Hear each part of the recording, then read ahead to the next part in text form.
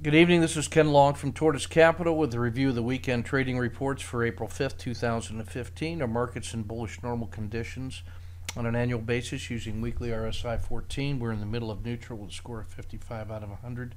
Slightly uh, below average on the 10 day NDX, putting us at 33 out of 100 in the neutral territory, but low using 10 day NDX.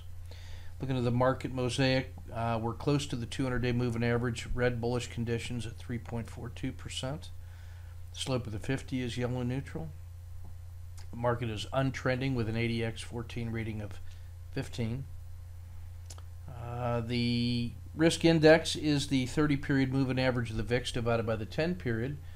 The threshold of 1.0 is the boundary between risk on and risk off. We just dipped into risk off conditions with a score of 0.99.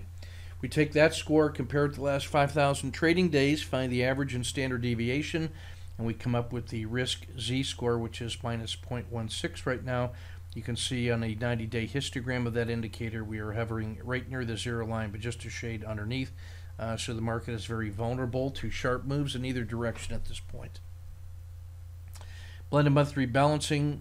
Uh, we rebalanced last week into these holdings in these three ETF portfolios, and then based on the uh, close of, uh, on Thursday, this uh, these are the current leaders uh, in these various portfolios. In ETF two, the theoretical exposure is at 90%. The model portfolio will also be at 90% after we add a position in HEDJ. Our Kansas City workshop is still on for 5 through 12 June. We had one slot open up uh, for resident attendants. If you're interested, please give me uh, an email at longke at yahoo.com and we'll get, we'll get you set up and squared away. Just a quick look at the uh, ETF 13 and 32 portfolios using that blended month rebalancing look back. Also the ETF Max showing still strength in uh, uh, biotech and the solar in China. And the sec the uh, S&P 500 with the sector spider that these leading uh, candidates are members of, uh, Hospira and Kraft near the top. Uh, the market health check, market hovering right at the bottom of the river here, but showed some resilience after this double bottom. Uh, we have an upper uh, price targets here. The next price target on the upside, 208 and a half at the Bollinger Band mean, and then at the top of the floodplain around 212. We'd have to see it close above this purple line in order to um, uh, get to an all-time new high. we are in the yellow zone right now, so I have a bias of going in the direction of the daily market move intraday. Uh, I am uh, unbiased in terms of uh, expectations on direction. You'll notice that the slope of the 30 period regression line has uh, come down now to about minus 0.12 and starting to roll up. Uh, that could be a sign of, uh, of healing as you see uh, three lower, uh, three higher lows here uh, in place. Uh, well postured for a swing move to the upside here with the market very near over sold conditions. The jaws of PPO have closed and it is basically non-directional right now. So we have market at a hesitation point here, ready to go in either direction sharply. These horizontal red lines would show us what our price targets are on the downside should support here at the edge of the river fail. The ETF2 regional report at 90% invested and 10% cash since 9 out of the 10 indexes are on buy signals. You see uh, inside the U.S. Uh, sector spiders, the only ones that are above average right now are these long-term leaders of consumer staples, healthcare, and consumer discretionary market health check. Mixed bag here inside the U.S. with uh, growth winning in the small and mid cap categories.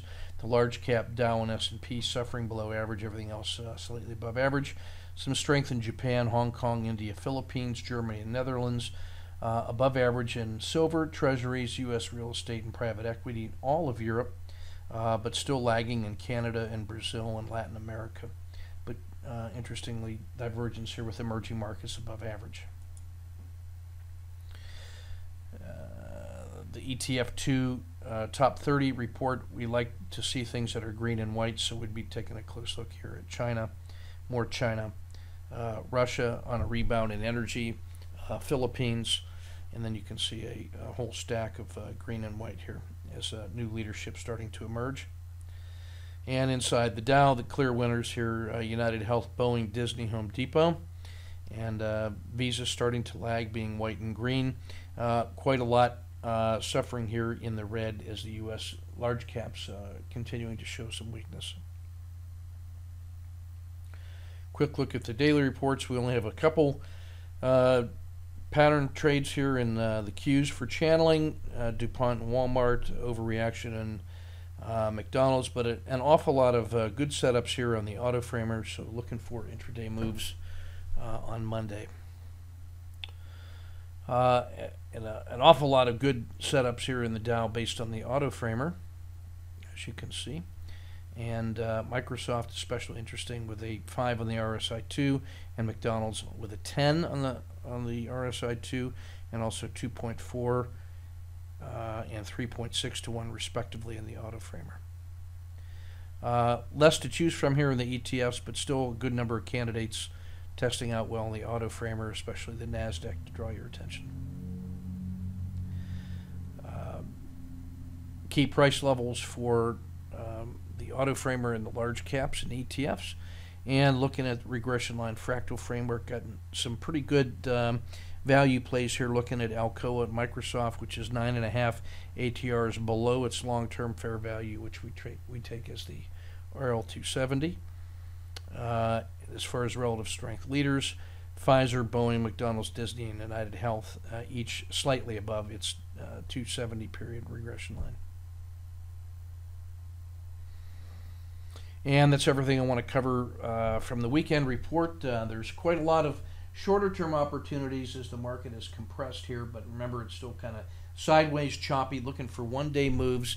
These are intraday opportunities that we want to seize and uh, and make bank on, and uh, there's still. Uh, I have some reluctance in uh, holding the positions overnight, so I'm looking to make bank uh, intraday and then use uh, successful trades intraday to fund overnight holdings, and not the other way around. So my default is shorter term taking advantage of this uh, volatile chop. Um, that's everything from the weekend reports I want to talk about. This is Ken Long from Tortoise Capital. Keep your risk measured and your powder dry. On Wisconsin.